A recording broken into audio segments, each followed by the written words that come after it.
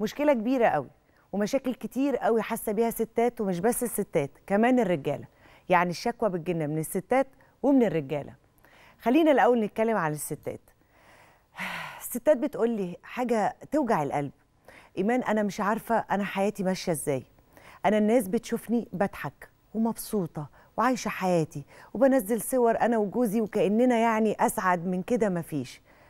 الحقيقة بقى المرة اللي أنا عايزة أقولها لك إن أنا مش سعيدة خالص. أنا وجوزي ما بقيناش زي بعض ما بقيناش زي زمان. جوزي بيتكلم معايا بالعافية. وبعدين أنا بقالي فترة يا إيمان بحاول أفكر في قرار الطلاق. ومش عارفة أنا صح ولا غلط. أنا هقولك بصراحة أنا حاسة بإيه. المشكلة إن هي طول الوقت حاسة إن جوزها ما بقاش يحبها زي الأول. ما بقاش فيه آه، ما بقاش ما بقاش في بينهم لغة حوار ما بقاش في كلام أصلا. ممكن يا ايمان نقعد في البيت بالساعات والساعات ما بننطقش. لا هو بيتكلم ولا أنا بتكلم. هو ماسك تليفونه طول الوقت وأنا بلهي نفسي غصب عني وببين له إن أنا ملهية. شوية في المطبخ بعمل أكل وشوية مع الولاد وشوية بتفرج على التلفزيون لكن أنا متابعة كل حاجة وحاسة بيه وببص له كده من تحت لتحت بحس إن هو في عالم تاني خالص. آه عايزة حياتي تستمر. وعايزة حياتي ترجع زي الأول. نفسي أبقى مبسوطة. الناس بتشوف صوري بني أدمة لكن أنا على الحقيقة بني أدمة تانية خالص. يعني أحيانا بحاول أداري حزني ومشاكلي بالضحكة آه بالكلام اللطيف مع الناس أو في شغلي. لكن الحقيقة إن إحنا ابتدينا بقينا عايشين في صمت زوجي. ويمكن زمان كانوا بيقولوا عليه خرز زوجي. ودلوقتي بقى إحنا بنقول عليه الطلاق الصامت. يعني أنا عايشة أنا وجوزي في نفس البيت بس لا أنا ليا دعوة بيه ولا هو ليه دعوة بيا. يعني حتى ما بقتش أقدر أسأله أنت رايح فين وجاي منين غيرانة بس ساكتة وكابتة جوايا. آه لو اتأخر بره البيت ما, ما, ما بقدرش أتكلم آه بحس إن هو مش طايق لي كلمة ويمكن دايما كلمة مش طايق لي كلمة.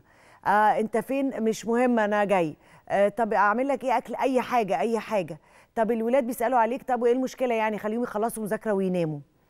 الموضوع بقى صعب. أنتوا عارفين الست أهم حاجة في حياتها بيتها. ولما بتحس إن الأمان ده والسند ده بيتهز هي بتبقى في حالة حيرة وحالة حزن وحالة عدم استقرار يجننها. طب أعمل إيه؟ أول حاجة بتيجي على بالها إن هو ما بقاش يحبني زي زمان. يمكن أنا قدمت بقى خلاص. يمكن يعرف واحدة تانية غيري. طب إيه إيه اللي أنا عملته؟ طب يمكن أنا تخنت شوية يمكن أنا مهملة شوية في نفسي وتفضل الست تسأل نفسها أسئلة. طب هو أنا عملت إيه؟ يعني بتفضل تجلد في ذاتها في حاجات هي ملهاش أي دعوة بيها وحاجات مش مسؤوليتها أصلا. طب يمكن طب يمكن ما بقتش أهتم بيه طب يمكن تخن طب يمكن أنا بهتم بشغلي أكتر. طب إيه اللي خلاه يتغير؟ طب عرف واحدة تانية غيري؟ طب مين اللي قلبه؟ طب يمكن صحابه؟ بتفضل أسئلة وأسئلة وأسئلة وتلاقيها ماشية كده إيه مسهمة. مالك يا بنتي؟ ما ما فيش. قاعدة في شغلها مش مركزة. حتى وشها تلاقيه شاحب ومكتئبة وساكتة طول الوقت. الأول كانت شخصية فرفوشة. كل أصحابها يحبوا يخرجوا معاها ويتكلموا معاها ويستشيروها وقالوا انت فين ونروح ونيجي. تلاقيها هديت اتهدت. ملهاش نفس تعمل أي حاجة. الحزن باين في ملامح وشها بس مش عارفة تاخد قرار. هل أتطلق يبقى قدام الناس كلها إن أنا خلاص مش قادرة أكمل؟ ولا نكمل في بيت واحد ونبقى اسمنا متجوزين قدام الولاد؟ لأن في ناس كتير قوي بتفضل مكملة يقول لك إحنا بص إحنا اللي بينا كده خلص لغاية دلوقتي العاطفة والمشاعر لكن إحنا هنكمل في نفس البيت ومتجوزين وكل حاجة بس عشان خاطر الولاد.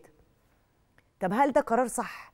يعني إن أنا أكمل وصمت زوجي وطلاق طلاق يعني شفوي هو ما بيحصلش على أرض الواقع بس شبه متطلقين عشان الولاد وعشان نفسيتهم. طب يعني ما تفتكروش إن الولاد مش شايفين كل حاجة ومتابعين كل حاجة وحاسين بكل حاجة؟ أكيد طبعا. آه على فكرة هي الرجالة كمان بتقول نفس الكلام. أنا مش عارف أطلق وأمشي ولا أكون ظلمتها؟ طب وولادي؟ طب والبيت اللي أنا شقيت عليه؟ يعني دايما الراجل اللي شقي في في في بنى البيت ده وشقي عشان يعمل بيت ويتجوز ويخلف بيبقى مش بالسهل إن هو يهدم البيت ده. بس برضه بيقف في حيرة نفس الحيرة بيقف فيها الراجل. هل أطلق وأمشي؟ أشوف سعادتي مع واحدة تانية؟ ولا حرام عشان خاطر الولاد وشقاية وفلوسي دي كلها اللي أنا حاططها في البيت؟ قرار صعب. الست والراجل بيقفوا الاتنين كده في خانة اليك. نعمل إيه؟ نفضل في الصمت ده؟ نفضل في الصمت ده طول الوقت. وهو يعيش حياته وأنا أقبل بالأمر الواقع ولا أتطلق وأمشي؟ ولا إيه اللي يخليني أستنى؟ يعني في حاجات أنا لازم أحسبها لازم أحسبها عشان أكمل عشان خاطر الولاد ولا راحتي النفسية وراحة بالي؟ لأن برضو على فكرة الراحة النفسية دي حاجة كبيرة جدا يعني آه، حاجة عظيمة يعني في الزمن ده.